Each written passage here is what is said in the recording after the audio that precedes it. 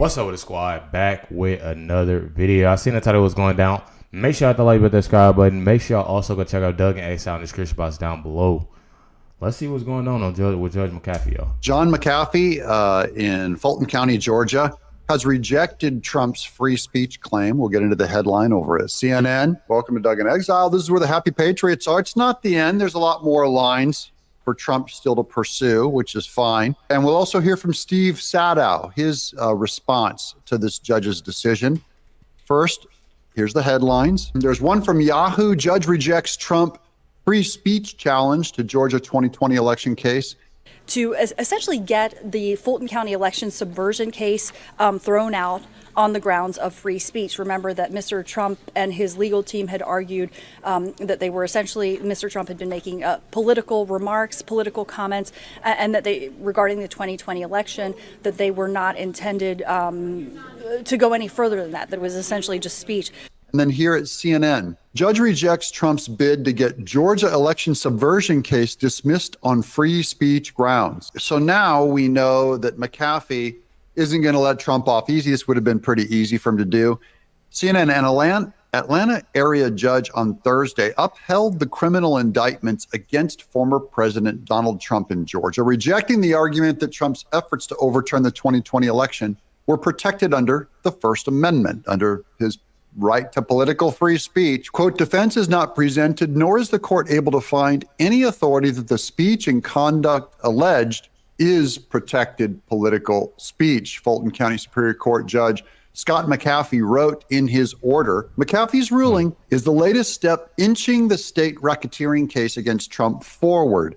But while Fulton County District Attorney Fani Willis has suggested she would be ready to go to trial as soon as August, the judge has still not set a trial date for Trump or his remaining 14 co defendants in the Peach State. So, you guys have heard me do videos on Harrison Floyd. He's one of those co defendants.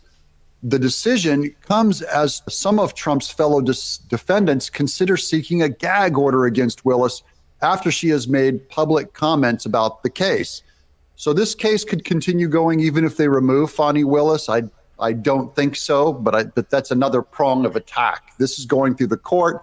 The other way is to try and use all these boards and oversight committees to remove Fani Willis, and it would take too long to replace her. McAfee's refusal to scrap the indictment comes as the free speech defense has repeatedly fallen short in pretrial wrangling in election meddling cases. Quote, after interpreting the indictment's language liberally in favor of the state as required at this pretrial stage, the court finds that the defendant's expressions and speech are alleged to have been made in furtherance of criminal activity and constitute false statements knowingly and willfully made in matters within a government agency's jurisdiction, which threatens to deceive and harm the government. McAfee wrote in his order issued on Thursday. I don't see how he can make that claim. I think it's a real overreach and a real problem. The question is if this whole thing's about Trump's free speech, about what he said, the question is did he do any damage? Did he undermine an election? A judge has ruled that actually it was not just speech, it was not just free speech protected by the First Amendment. How can you protect free speech if you can say that the speech damaged someone? The speech doesn't actually make anyone do anything because everyone's still free to not do it.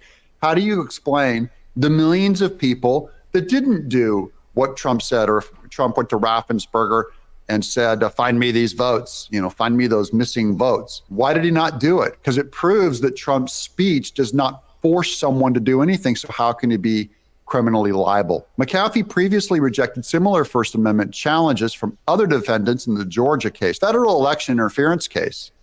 This is on a whole different court case up in Washington D.C. Judge Chutkan, Tanya Chutkan, also heard and rejected the argument that Trump's actions should be considered protected political speech.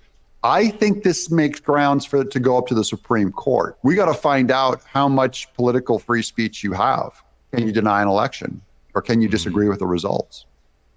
The Fulton County District Attorney's Office declined to comment on Thursday's order from McAfee.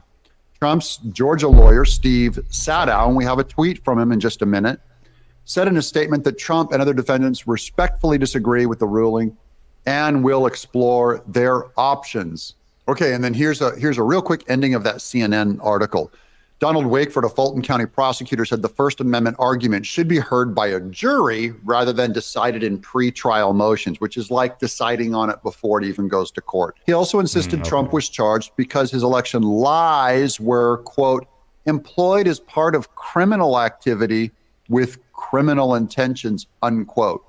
And I don't see how you can say that this is a crime, criminal activity, nor can they know his intentions were that he knew it was a crime. That's the whole point of asking the question. He's saying, like, who actually won? How can that be a crime? How can they know his intent was to do something illegal? Projection, Your Honor. And then here's Steve Sadow on Twitter. My statement as lead defense counsel for President Trump in the Fulton County, Georgia case, we respectfully disagree with Judge McAfee's order, in parentheses, refusing to dismiss the indictment, and will continue to elevate our options regarding the First Amendment challenges. It is significant that the court's ruling was without prejudice, as it made clear that defendants were not foreclosed from again raising their as applied challenges in the appropriate time after the establishment of a factual record. So that's going to wrap this thing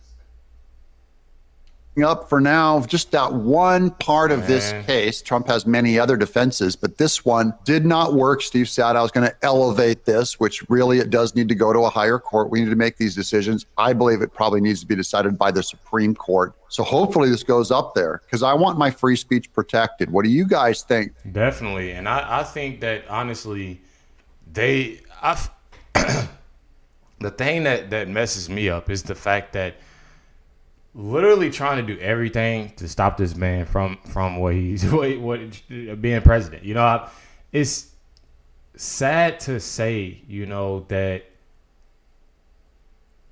he has to go like we literally still dealing with this. Like literally still talking about this. All the stuff that's been this past few months. And still and it and it can't be a surprise because it's like we know what's coming next after this, but we try to have that positive attitude. Like I always tell y'all to have that positive attitude about this because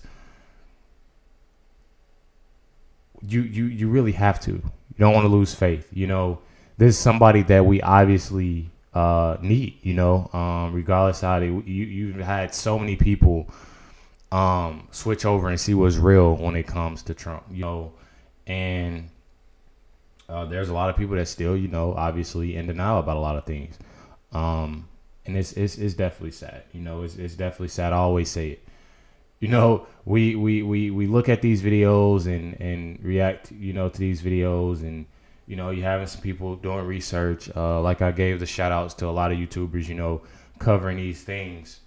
Um, just try to have a positive attitude about these things. That's, that's all you can have, you know, um, with him, you know, having you know that Truth Social, sitting on a, a, great amount of money, you know, having the supporters that he has, you know, um, it all be cool.